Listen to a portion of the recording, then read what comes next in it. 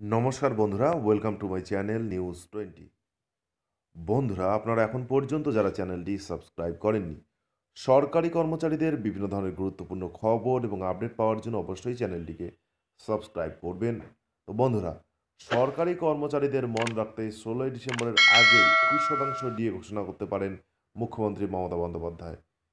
একুশে বিধানসভা নির্বাচন, তার আগেই কিন্তু বেশ কিছু সরকারি কর্মচারীদের জন্য সুখবর ঘোষণা করেছেন মুখ্যমন্ত্রী মমতা বন্দ্যোপাধ্যায়। পুজো কমিটিগুলিকে পঞ্চাশ হাজার টাকা অনুদান, সিভিক পুলিশ ভলান্টিয়ার বেতন বৃদ্ধি, অস্থায়ী কর্মচারীদের রাজ্য সরকারের অধীনে নিয়ে আসা আশা কর্মীদের বেতন বৃদ্ধি ইত্যাদি বিভিন্ন বিষয় নিয়ে গুরুত্বপূর্ণ সিদ্ধান্ত তিনি নিয়েছেন। শুধু বকেয়া রয়েছে, সরকারি কর্মচারীদের মহার্ঘ ভাতা।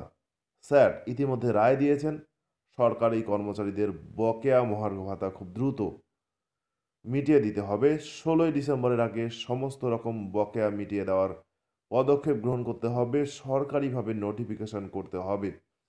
কবে কত শতাংশ দিয়ে ঘোষণা করা হবে?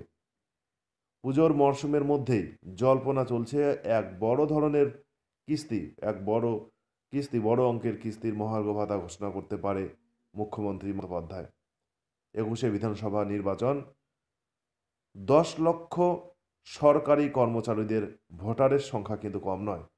এ কথা অবশ্যই মাথায় রাখবেন মাননীয় মুখ্যমন্ত্রী মমতা বন্দ্যোপাধ্যায়।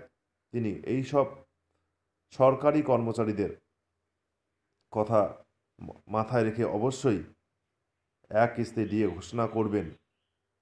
যদি দেখা যায় যে কেন্দ্র এবং রাজ্যর ডিএর ফারাক কত রয়েছে সেক্ষেত্রে দেখা যাবে। বিশাল পরিমাণ এরিয়ার ডিএ বকেয়া মহার্ঘ ভাতা বাকি রয়েছে, যেটা শীঘ্রই ঘোষণা করতে হবে। সরকারি কর্মচারীরা কিন্তু আশায় রয়েছেন, অনেকেই আশা করছেন মুখ্যমন্ত্রী মমতা বন্দ্যোপাধ্যায় এই পুজোর মধ্যেই এক কিস্তি ডিএ প্রদান করবেন। এমনটাই কিন্তু জল্পনা চলছে বিভিন্ন সরকারি কর্মচারীদের মধ্যে।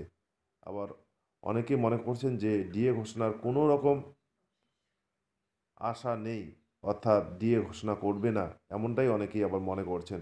কিন্তু যা পরিস্থিতি, তাতে করে দেখা যায় যে অবশ্যই ষোলোই ডিসেম্বরের আগে মুখ্যমন্ত্রী মমতা বন্দ্যোপাধ্যায় হয়তো ডিএ ঘোষণা করবেন, যেটা লাগু হবে পয়লা জানুয়ারি দু হাজার একুশ থেকে।